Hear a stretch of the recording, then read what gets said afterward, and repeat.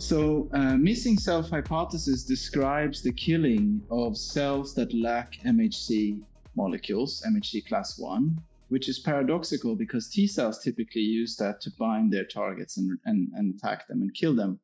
NK cells, in contrast, kill cells that lack this self antigen. And the inspiration, as I've heard it from Klas Kärre for discovering or proposing the missing self hypothesis, was inspired by the Cold War um, submarine uh, chase that was going on in the middle in the Baltic Sea at the time.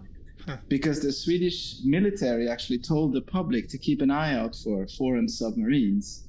But it was really difficult to describe every possible foreign submarine and what they would look like. So what they instead did, they described the Swedish submarines and said, hmm. if you find something that doesn't doesn't look like this, you should let us know.